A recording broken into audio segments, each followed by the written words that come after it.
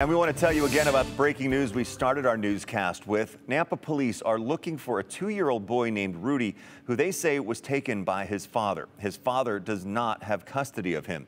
Rudy Reyes is about 35 inches tall and weighs 25 pounds. Police say he was taken around 1055 this morning from a yard on North Yale Street near 5th Street South and 4th Avenue South. He was last seen at the Stinker Station in Nampa on 12th Avenue South. Rudy was wearing a gray shirt with a hood and a diaper. His dad, 36-year-old Rodolfo Reyes, is 5 feet 9 inches tall, weighs about 190 pounds, and was last seen wearing jeans and a tank top that might be white. Police say he is known to carry a pistol, so he could be armed. Police released an updated description of the car they're looking for. It's a dark gray 2018 Honda Civic with Idaho license plate 019YOR.